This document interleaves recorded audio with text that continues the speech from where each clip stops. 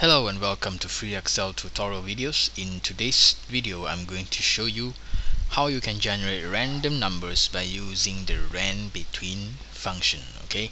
I will show you how to use also a paste special to convert the randomly generated numbers into values.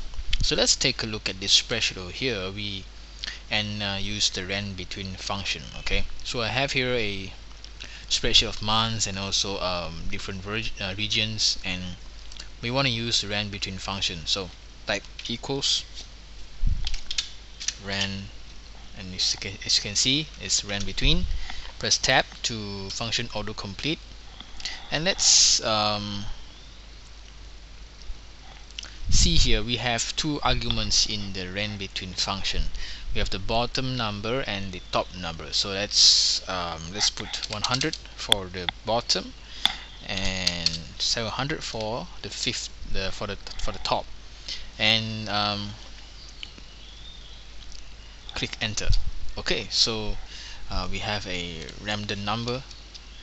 And let's say if you want to put the random number for the entire uh, region of cells here. So I'm going to select the entire block of cells and um, let's type the RANDBETWEEN function once again. So let's type equals ran between tab to autocomplete.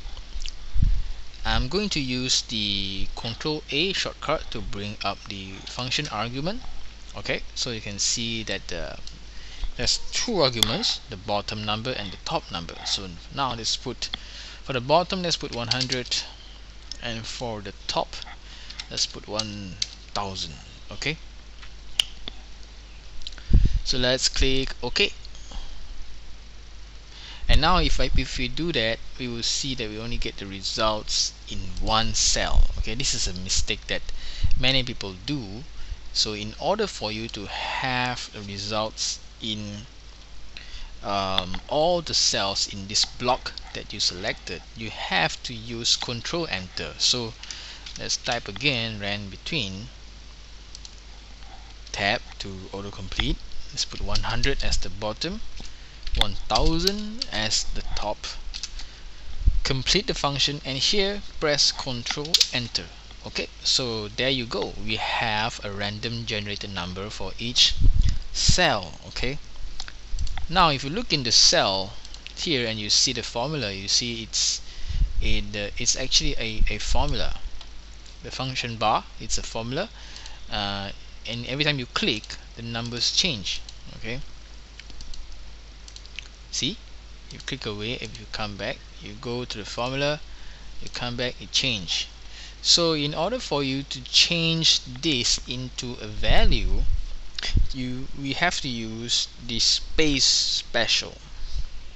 Okay so what we do is select the entire area right click copy and right click again select paste special and here in this paste special menu select values. Okay click OK okay now you see that they are now has been converted converted into real values okay? So these values you can use them in formulas or calculations that you may have.